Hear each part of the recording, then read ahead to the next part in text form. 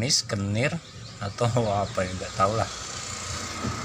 Dan ternyata nah ini dinamonya ini kipas angin apa ini? Iklim tropis ya. Seretnya pol nih. Nah, seretnya pol. Nah yang membuat seretnya ini apa kira-kira? Apa kebanyakan ngasih pelumas atau gimana? Izin dulu untuk membukanya ya nah ini baut ini di di sini ini baut ini di sini dan di sini ya ini di sininya kita lepas semuanya. Kemudian jangan sampai melepas yang ini semua ya karena masangnya nanti susah. Ya, ini kita upayakan membuka baut ini ya. Ini menggunakan kunci 6 ya sepertinya seperti ini. Kadang bisa juga menggunakan obeng seperti ini.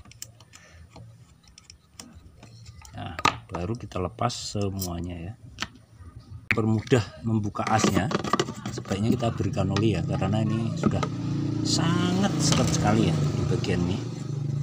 Ini.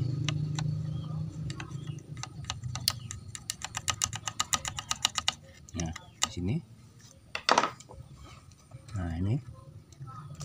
Kadang ini nah ini sudah agak normal tapi dengan memberikan oli ini saja tentu tidak akan menjadi solusi ya. Dan biasanya tidak bertahan lama. Nah, kemudian kita upayakan kita tarik keluar dulu. Nah ini dengan menekan keduanya ya. Jangan kita tarik seperti ini tapi ini sambil kita tekan ke belakang. Takutnya. Aduh atau kadang bisa juga nah seperti ini. Nah ini. Bisa juga nah ini yang seret di sini nah. Kemudian kita tarik saja. Secara perlahan. Keluar masuk seperti ini. Nah ini. Nah. Nah izin izin di sini di sini. Kemudian di bos yang ini. ini dalam sini. Nah itu kita bersihkan juga. Biasanya saya membersihkan ini dengan oli saja cukup ya.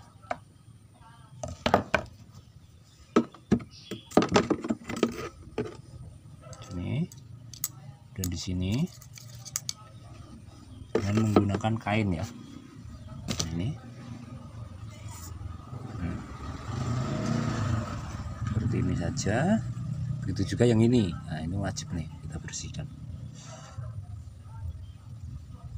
Oke nanti saya akan perlihatkan hasilnya seperti apa ya. Di bagian ini. Ini saya berikan oli. Ini ini ini. Dan akan saya gesekkan keluar masuk ya nah.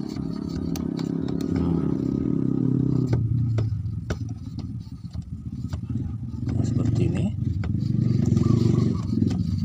nah kemudian ini saya bersihkan ya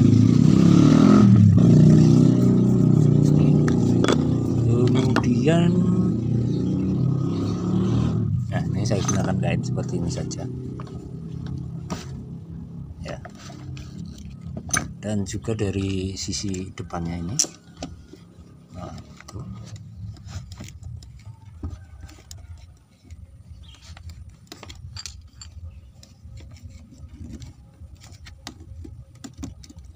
Karena kalau memberikan oli terlalu banyak itu malah jadi apa ya? Jadi mengeras kayaknya.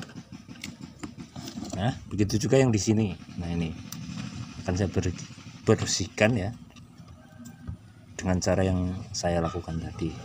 Dan nanti akan saya pasang ya hasilnya seperti apa. Ini setelah bersih ya. Ini kemudian kita berikan pelumas. Nah ini saya pelumas ajaib ya. Paslin lah gumuk tapi sedikit saja ya. Nah seperti ini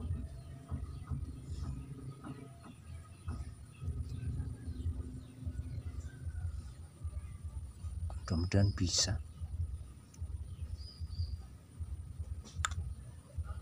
Nah sedikit saja. Nah yang saya maksud saat memasukkan ini nah ini. Ini ke dalam sini.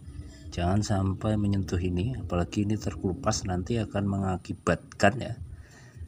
Pasangin ini hanya dengung ataupun mau berputar tapi dengan bantuan tangan. Nah itu saya pernah mengalaminya masukkan secara perlahan. Jangan dipaksa. Nah aduh goyang ya. Nah seperti ini dan izin saya masukkan saya kemas dulu. Nanti gimana hasilnya? Biasanya setelah kita baut ya ini ini putarannya seret nah seret untuk saja bagian sini nah kan lebih enteng. Nah kita akan coba ya. Tuh muter lagi kan?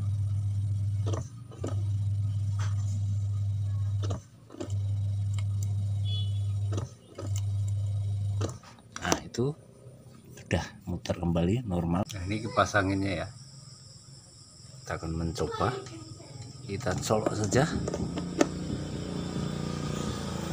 Wah isisnya minta ampun cuaca ekstrem ya demikian ya.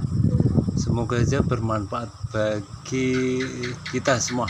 Bila ada salahnya mohon maaf yang sebesar-besarnya